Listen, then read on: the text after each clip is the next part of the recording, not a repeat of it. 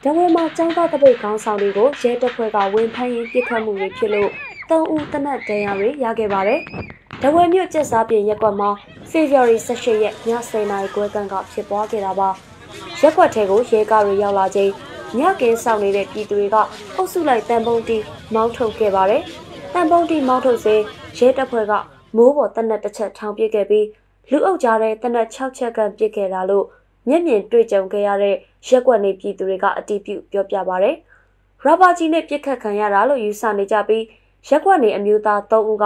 လက်ခြေနဲ့ကြောကုန်းတွေမှာတနက်ဒဏ်ရာရခဲ့ပါတယ်။အသက်အန္တရာယ်တော့မစိုးရိမ်ရပါဘူး။တနက်ပြစ်ခတ်မှုကြောင့်လူစုကွဲချိန်ရက်ွက်နေအမျိုးသားတဦးကိုလည်းရဲတပ်ဖွဲ့ကဖမ်းဆီးခေါ်ဆောင်သွားခဲ့တယ်လို့မျက်မြင်တွေကပြောပါတယ်။ဒါပေမဲ့အကြောင်းသားကောင်းဆောင်တွေကတော့အဖမ်းမခံခဲ့ရပါဘူး။